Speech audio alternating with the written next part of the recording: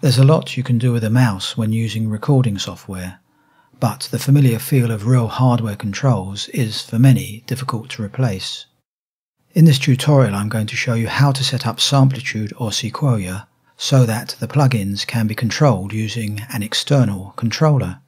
This will then free you from the limitation of being able to change just one parameter at a time, as is true when using a mouse. In this example I'm going to show you how to map the 16 encoders of my EMU Xboard 61. I'm going to set up a hardware profile and then show you how to use a feature called Learn Hardware Controller. It will then be possible to tweak the controls of VST plugins and at the same time enjoy the tactile pleasure of using hardware. The information in this tutorial can be adapted to set up any controller keyboard for this kind of use. To begin with, I'm going to press Y on the keyboard, which opens the system options. Then I'm left clicking on the tab called Hardware Controller. At the moment, this page is blank, so I'm clicking on the button which says Add New. Now you can see a list of all the supported controllers which are pre-configured, but in this case I'm clicking on an empty template. Now I'm left clicking on MIDI in I'm choosing USB audio device, which is the Xboard, and the same with MIDI out, USB audio device also. Of course, the MIDI connections will depend on what controller you have. I'm changing the track count to 1. Under output, select Send Echo. Leave internal mode set to Mackie Multitrack. Next thing to do is click on Save Setup As. So I'm going to save that as Xboard. Now I'm opening the Customize Controller tab. This is the page which will memorize the control data being transmitted from my Xboard.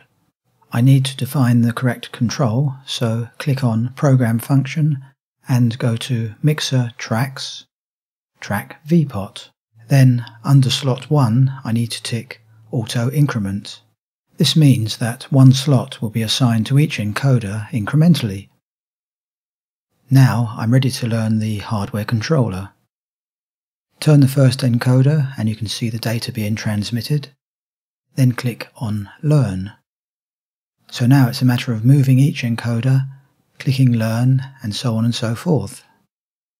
As I learn each controller, it's then added to the list. 6, 7, 8. That's the first row done. Now I'm working my way through the second row.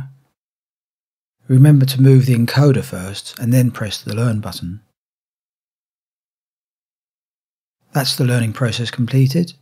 Now I'm going to work my way backwards and check them. Notice that for every knob I turn that the corresponding entry is highlighted. As I mentioned, each pot is assigned to a different slot, so we have a total of 16 slots, one for each controller knob. It's worth checking this just to make sure we don't have any problems later. They all appear to be assigned correctly. That's the controller setup finished. I'm going to click on OK to exit that window. Now I have a controller template based on the Xboard 61. The next thing I need to do is to use the function I mentioned earlier called Learn Hardware Controller. This will teach the controls of the ECOX delay to respond to the commands of the Xboard encoders. I'm going to assign the top 8 pots to control the left and right delay, the two filters, plus the drive, diffusion, stereo width and mix controls. Begin by left clicking to open the plugin menu. Then select Learn Hardware Controller. Now I'm left clicking on Delay Left and then moving the first encoder. So this has created a link between the hardware and software controls. I'm repeating the procedure with Delay Right, Learn Hardware Controller, then left click on Delay Right and move the knob. Next I want to assign the third knob to the low cut filter. Go up to the plugin menu again and select Learn Hardware Controller. Left click on Low Cut Filter and move the knob to make the link. Next is high cut filter. Left click, that's good. Next is drive. I'm sure you've got the idea by now. Same again for diffusion. Left click, move the control to make the link. Next is stereo width. Learn hardware controller. Left click, move the control, that's working. Last but not least, learn hardware controller, left click on mix, move the control and make the connection. A quick check to make sure they're all working. That's the drive. High cut, low cut, delay right, delay left. So that's all good. Now I can tweak the controls of the ECOX delay using my X board.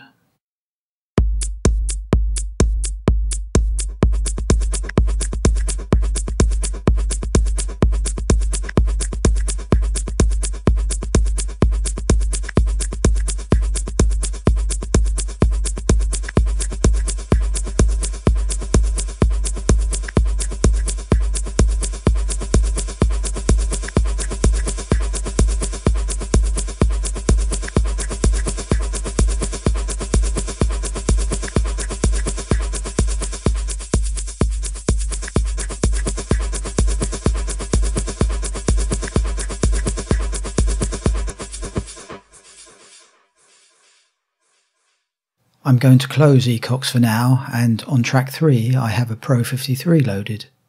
I still have the bottom row of encoders free so I'm going to assign envelope, resonance and cutoff to the three encoders on the right. Same procedure as before, up to the plugin menu and select Learn Hardware Controller. Left click on the control you want to learn and turn the hardware knob to make the connection.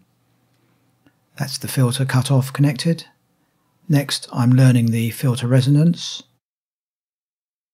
And finally, the filter envelope amount. Left click, turn the knob to make the connection. Now for some tweaking using the Pro 53.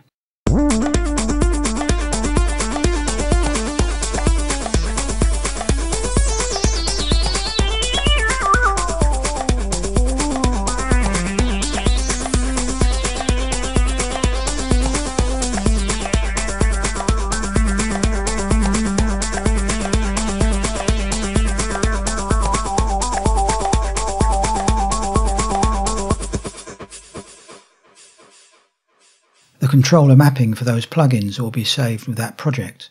If you want to assign the remaining encoders to the Pro 53 or maybe a new plugin, it's just a matter of going through the Learn Hardware Controller routine for the last five knobs.